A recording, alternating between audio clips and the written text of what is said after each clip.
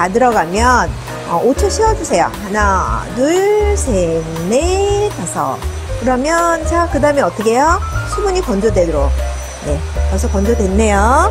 자, 이 상태에서 이렇게 하시면 되겠습니다. 굉장히 쉽죠? 네. 원장님들도 하시면 다 쉽게 하실 수 있어요. 네. 그러니까 똑같은 일률적으로 섹션을 뜨는 게 아니라 예, 내가 어느 부분에는 조금 더 강한 웨이브를 내고 싶어 하면은 슬라이스를 얇게 뜨세요.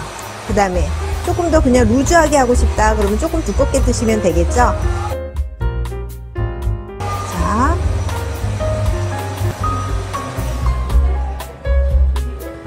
네, 이렇게 첫뜸 없이 그냥 와인딩 돌아가시면 되겠습니다. 내가 가장 많이 표현하고 싶은 먼, 그러니까 부분을 먼저 강하게 표현하고 싶은 부분을 먼저 와인딩 해놓고 어, 나머지는 자연스럽게 움직이시면 되겠습니다.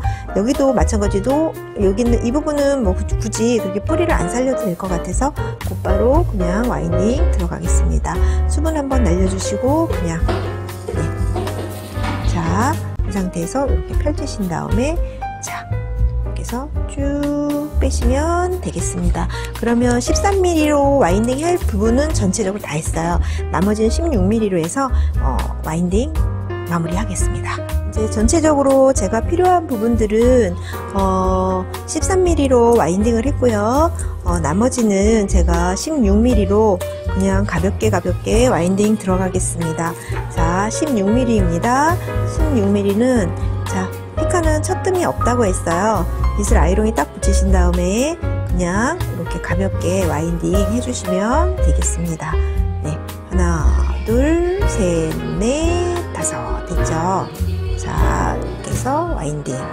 자, 네, 와인 아이롱 하시면서도 일반 펌하고 똑같아요. 그냥 어느 부분은 제가 조금 C컬 펌으로 어, 해드리겠다. 또 어느 부분은 내가 좀 강한 컬을 내겠다. 예, 이렇게 해서 winding 디자인 하시면서 winding 하시면 좋겠습니다. 현재는 제가 그냥 16mm로 네, 이렇게 해서 winding 들어가고 있습니다. 네, 이렇게 해서 마무리하고 중화하고 다시 한번 보여드리겠습니다. 지금 winding 다 했습니다. 네, 이렇게 보시면 제가 포커스를 맞추고 싶은 데는 13mm로 했고요. 나머지는 16mm로 해서 winding 했는데요. 또 보시면 약간 이렇게 C자 컬로 해서 표현될 부분들은 제가 또 그렇게 표현을 했어요.